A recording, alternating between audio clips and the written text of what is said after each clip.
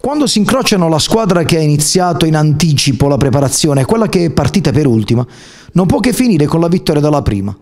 Però se la sconfitta arriva di misura e per giunta sul rigore, non c'è da farne un dramma. Il Bitonto cede alla Fidelissandria per 0 a 1, ma sfodera una prestazione tutta cuore e fierezza sul prato mestamente spelacchiato del Città degli Ulivi.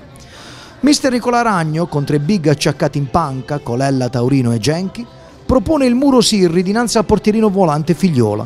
Si affida alla regia ruvida ed equidistante di Capece, Pepe cuce linea mediana e attacco, dove Lattanzio si sbatte gladiatorio e Piarulli punge instancabile.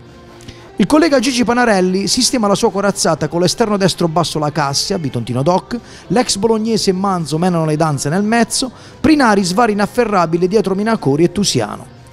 Dopo il minuto di silenzio in ricordo commosso del giovane arbitro barbaramente ucciso a Lecce, schermaglie di studio, con i padroni di casa che azzanano gli avversari, dando fondo a tutte le energie possibili. Al decimo, corner di Pepe e tuffo di Anatrella da allontanare. Al minuto 23, dialogo vertiginoso fra Pepe e Lattanzio, esterno sinistro di Piarulli, largo. A tre dalla mezza slalomeggia inebriante Prinari sulla sinistra, cross radente e il Vespigno Zingaro in scivolata sfiora soltanto. Al 35 l'episodio che spacca il match. Cross da destra del bian- 7 biancazzurro, Sirri miete Tusiano in aria, rigore. Dal dischetto Prinari fredda figliola spiazzandolo. Dopo l'intervallo i Leoncelli provano a ruggire, mentre gli andriesi quasi rinculano timorosi. Due giri di lancetta, omelette della difesa neroverde, botta dell'ex bolognese. Figliola si distende felino sulla sinistra e respinge. Poco dopo il quarto d'ora, Tusiano da posizione favorevole calcia maldestro a forare le nuvole. Al minuto 27 mancino esplosivo di Tusiano e traversa frantumata.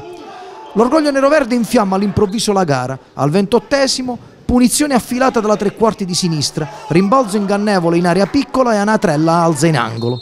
Sei minuti dopo, piazzato calibrato di Pepe e spaccata di Sirri, sfera che rotola beffardamente sul fondo. Ad un sospiro dal triplice fischio del signor Marchioni di Rieti, palla vagante in area. Lattanzio lavora il cuoio e mette dentro. L'estremo ospite blocca senza patemi e serra in cassaforte i tre punti.